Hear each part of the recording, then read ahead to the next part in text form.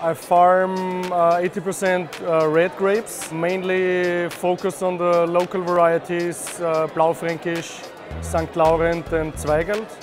And then I have also some white grapes like the native Austrian uh, varieties, Grüner Veltliner, Welsch Riesling, Pinot Blanc and a little bit of Muscat. I work uh, biodynamically since 2006 and we see a huge impact on our soils and the wines. In the cellar we try to keep this quality from the vineyards as much as we can. We don't work with additives, no filtration, with everything skin fermentation. Also the, the white wines, uh, what makes it, I think, more complex and diverse. Diversity is when you, when you taste the wine and you feel out there's a spirit, there's something special, there's something unique what, what other wines don't show. And that's what I'm searching for when I drink a wine.